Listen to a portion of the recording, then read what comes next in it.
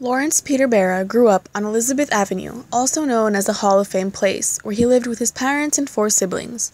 He learned the basics of catching and playing outfield and infield positions when he began playing baseball in local American Legion leagues. He received his famous nickname Yogi from his friend Bobby Hofman while playing together in American Legion baseball. Hofman said he resembled a Hindu yogi whenever he sat around with his arms and legs crossed, waiting to bat, or while looking sad after losing a game. Yogi Berra played minor league baseball with the Newark Bears before playing 83 games for the Yankees. Little did he know he would play more than 100 in each of the following 14 years. Although Berra chose to leave a finger outside his glove, he remained an outstanding catcher and became one of only four catchers to ever field 1.0 for a season, playing 88 errorless games in 1958.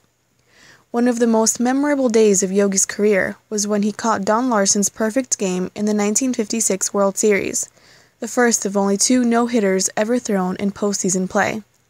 He eventually became manager of the Yankees and also returned to the field as a player and coach for the Mets. Yogi was elected to the Baseball Hall of Fame in 1972. That same year, the number 8 was retired by the Yankees, honoring Yogi and Bill Dickey, his predecessor as the Yankee star catcher. In 1996, he received an honorary doctorate from Montclair State University, which is also the home of Yogi Berra Stadium and the Yogi Berra Museum, which was opened in his honor. Aside from baseball, Yogi had another love. He married his wife Carmen on January 26, 1949. They have three children together, two of which also play professional sports. He now spends most of his days in Montclair, New Jersey, where he lives with his close family.